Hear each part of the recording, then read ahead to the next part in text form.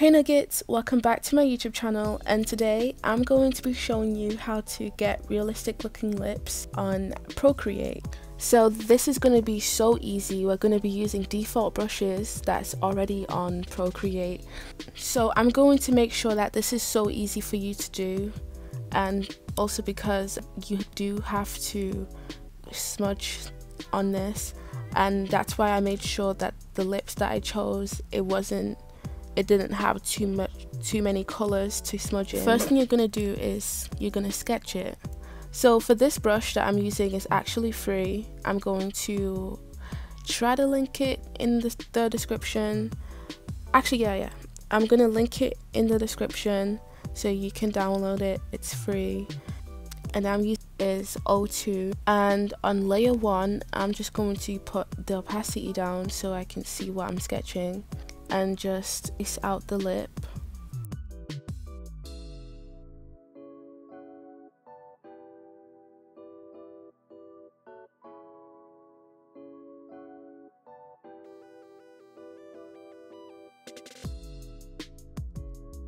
Oh, and also for the thin lines, my size is on 06, between 06 and 07.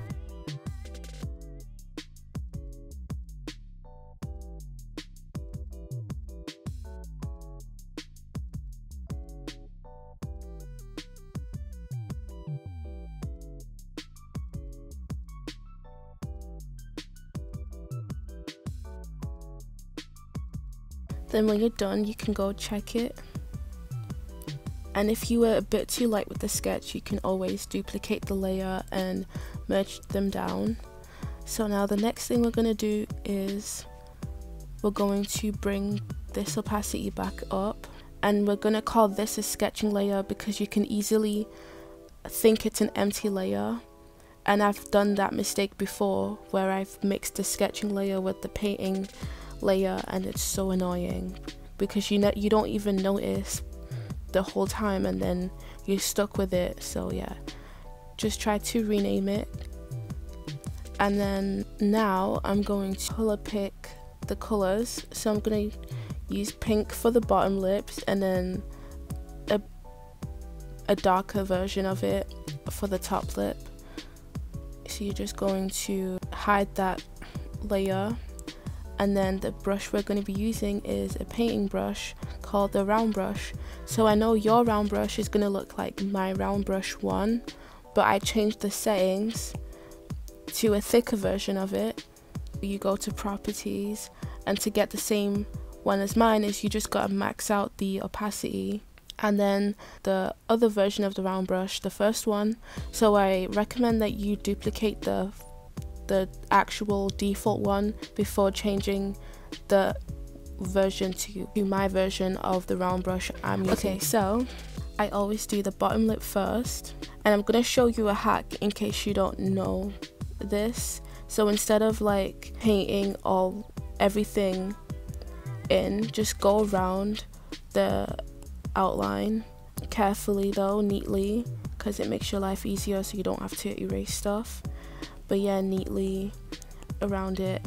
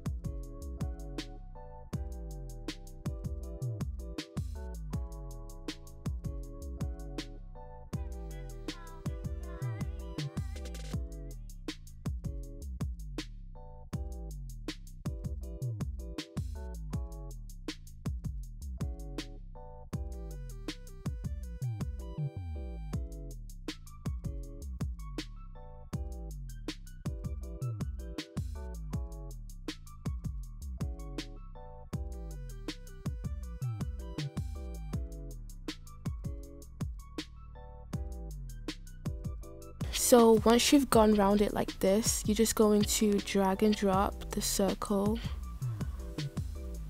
And there you go. It saves you a lot of time. You also want to check it to make sure that the shape looks alright by hiding the sketch layer. Then you're going to make a new layer for the painting at the top, which kind of looks brown. And then do the same thing.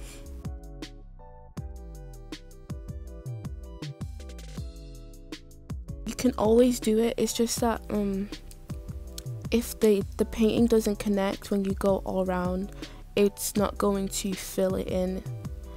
I guess I can show you an example during the tutorial or I'll just show you after doing this one.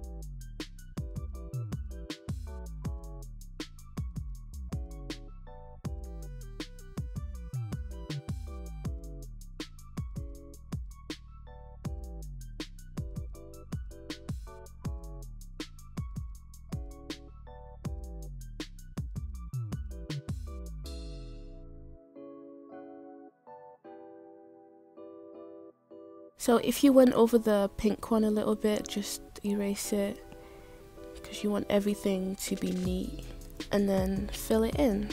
So I'm going to show you an example how this one works sometimes. So if you've made them connect, it will work. And if it didn't connect, like say it's halfway, it's just going to go all around the whole thing. So yeah, just make sure that it connects so that you can actually fill it in. Okay so you want your lip to look like this.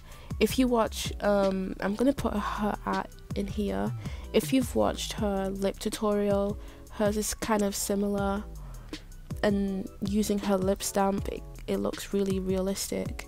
Okay the next thing i'm doing is i'm going to create a clipping mask but i'm not gonna ma clip mask it yet because when you go in the and picking in the colors that makes it look realistic just like the picture then you're not going to see it. And that's a mistake I made in my first ever cartoon tutorial that is on my channel uh, right now. And I guess I kind of made it hard for hard for people and that you know doesn't don't know how to do it that well. So just like pick the colors in make sure it's like accurate. This is why you gotta have like clear pic because sometimes they have like greenish colors you know when the quality is just really bad. So yeah just take your time. My brush size is not always the same when I do this but because the picture is bigger 9% is alright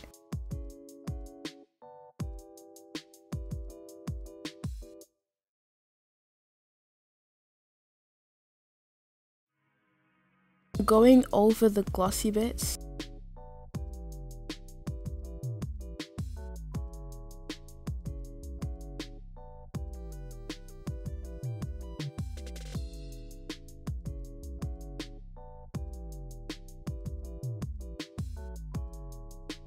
I low-key didn't want to get something that had gloss on it because we would have to go over it and then do the gloss later. This is how I do it every day. Well, not every day, but this is how I do it with every drawing that I do.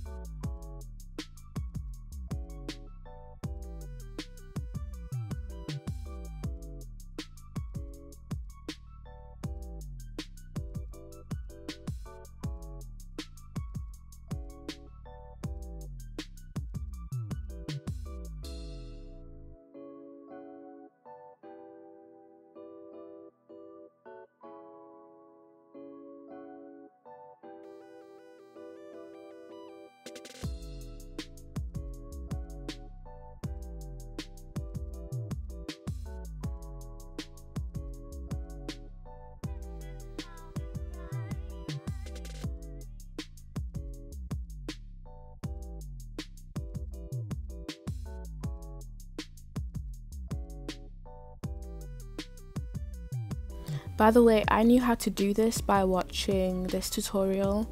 He uses Adobe Draw. I'm gonna try to link his channel in the description if you want to learn how to do cartoon. But yeah, he uses Adobe Draw to do it. What I don't get in his tutorial though is like how does it already look blended when he puts the colors in? If you're someone who's watched it then you get what I mean.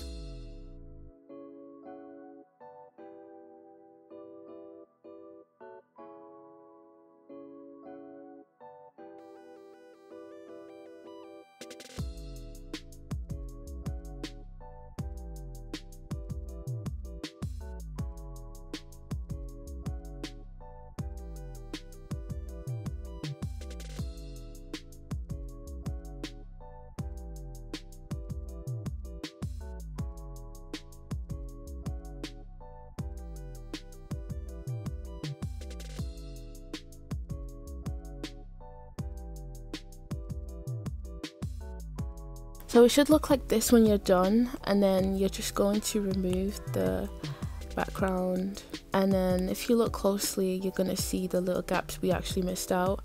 And in my first cartoon tutorial I didn't have a base at the bottom with um, picking the colors and stuff. That's probably another reason beginners watching kind of got confused. But since we did the base you don't really have to worry at the bottom because it goes with the colors anyways Right now we're going to start smudging.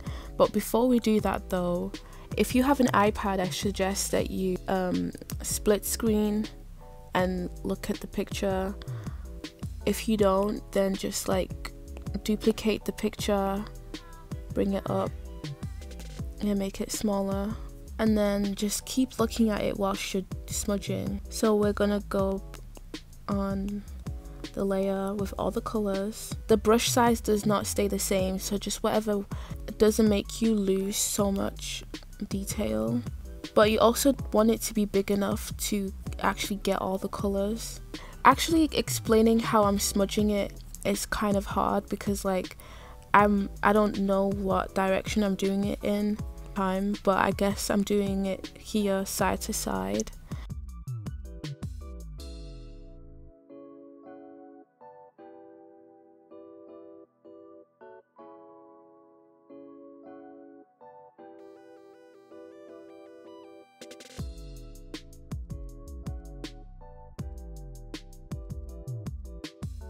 Brush size right now is like 8% ish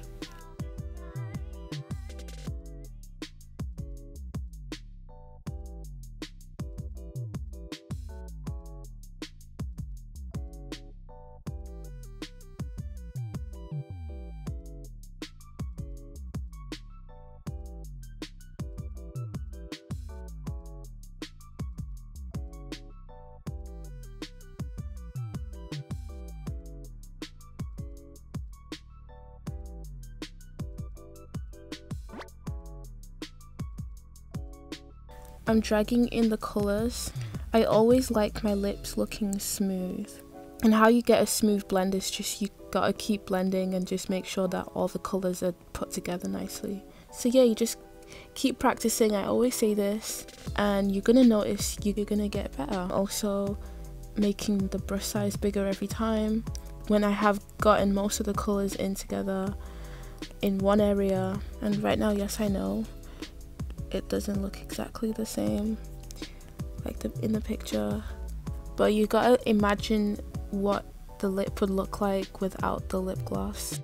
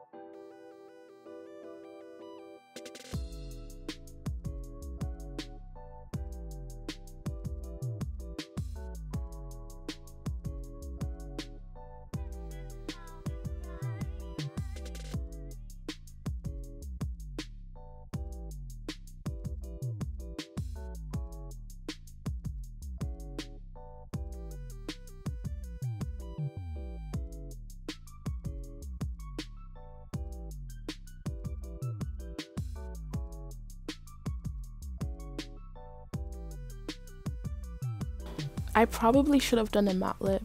So you get what I'm doing. More when I'm smudging. Or what helps is if you smudge out the lip in the real picture and then put in the colors and when you're smudging you'd know what you, you're doing and make and you'd feel like you're doing it right. So I'm putting the size up a little bit. Sometimes you have to go in and make the sides darker like it is in the picture. Then make your brush a little more bigger. Just make sure everything kind of looks smooth. Zoom in. Now we're going to use the clip. I think it looks pretty good. Now we're going to do the top lip the same way. Hide the paint. Bring back the real picture and drop in the colors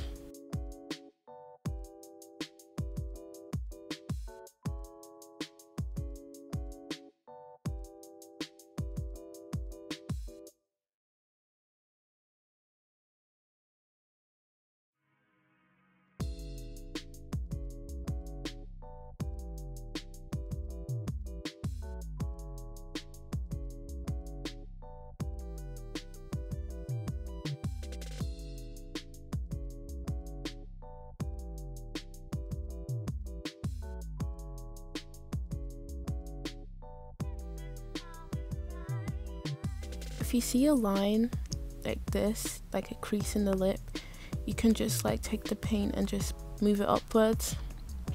I know it would be hard to remember in your brain as a beginner to use that as a crease when you're smudging in, but I'll show you how I normally do it.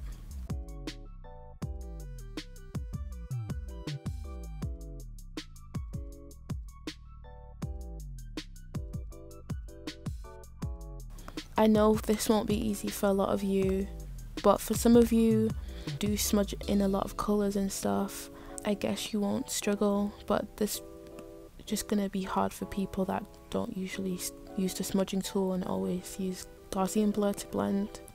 I really wouldn't recommend using Gaussian blur to try to get a realistic looking lip. You lose a lot of detail. When you smudge you can add lots of detail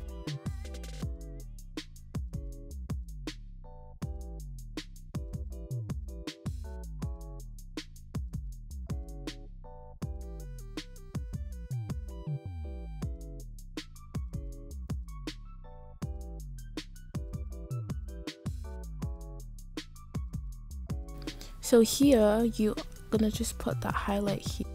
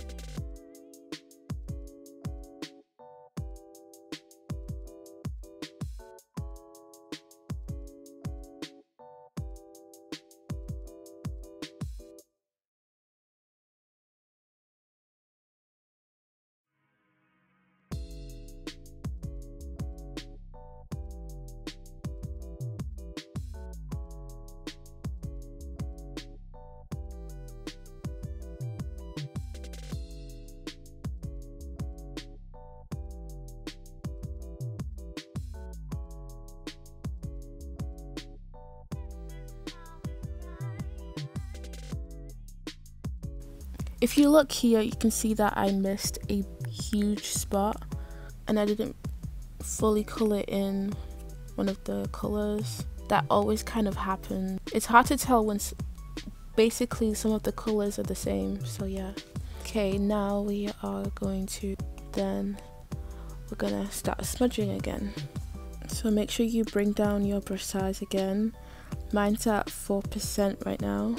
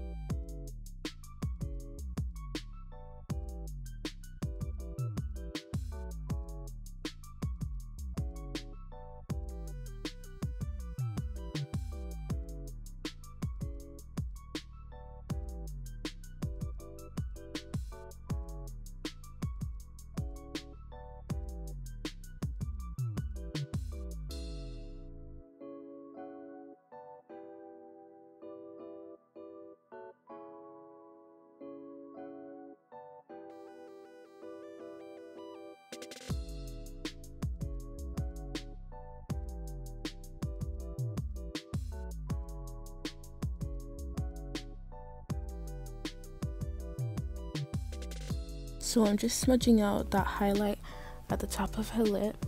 And now I'm going back again, bringing out, bringing up my brush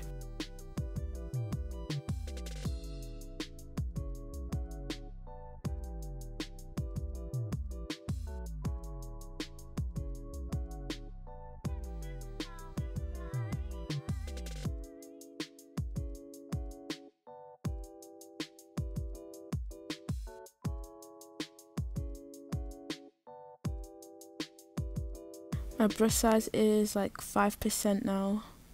Well, between 5 and 9%.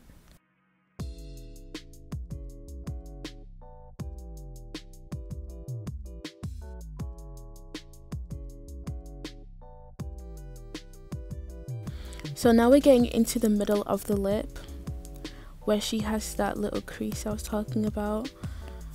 Um, your brush size should be like 4 or 5% again and just like keep looking at the picture.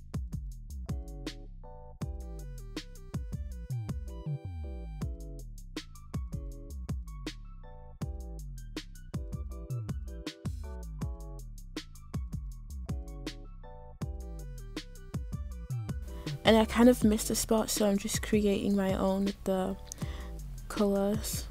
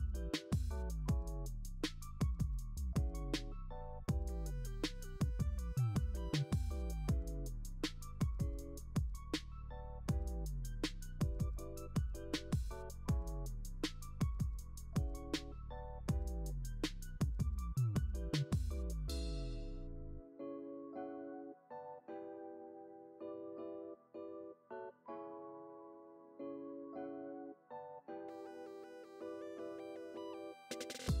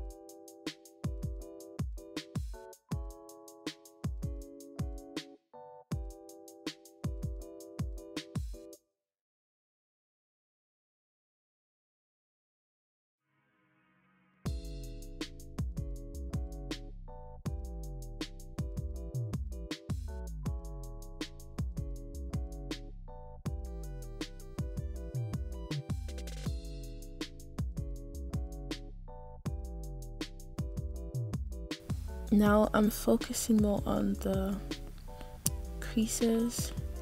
It's not going to be perfect. Just bring the colors up and down in the middle.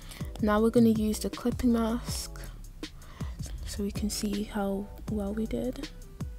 So when you take up the sketch and look closer, hmm, actually no, kind of looks alright. I want to define middle bit right here a little bit more.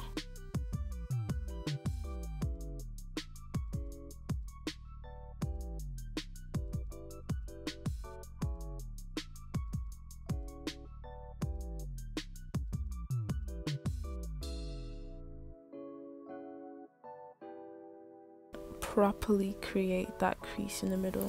So I know I said I would show you how to do the gloss, it's just hard to do it when the lip is this big and you have to put so much more detail with the gloss. Normally when the lips are smaller, I would just put little dots of where it's more shinier and, and stuff like that. But it's harder this way when it's bigger but you did see how I did it with the lighter shade of the gloss that goes around the lip over there. So this kind of looks good on its own and she does have some highlights going on at the bottom of her lip as well. I'm just going to leave the tutorial like this because I'm still trying to figure out how to do glossy lips. I'm not that good at it but I did this before with um, with this one right here. The same thing that I did that's what I did here. So yeah. I hope that you like this tutorial and if you're new to my channel please subscribe and I'll see you in my next video